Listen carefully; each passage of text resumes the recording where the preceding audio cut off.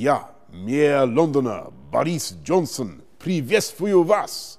I'm Boris Johnson, the Mayor of London, and once again I welcome everybody to our annual Maslenitsa Festival in Trafalgar Square. This is the sixth time we've been hosting this, and I'm delighted to say that this year it is the highlight of the UK Russia Year of Culture 2014. And I hope everybody has a chance to enjoy the fantastic cultural offering from Russia in this pre Lent festival of pancakes and other goodies. All kinds of music, dancing, and other cultural celebrations going on in Trafalgar Square. I hope you enjoy it. And of course, since we are between the Olympic and the Paralympic Games in Sochi, we've got the opportunity to see some of those incredible athletes hot foot from Sochi itself in Trafalgar Square. Enjoy yourselves, everybody.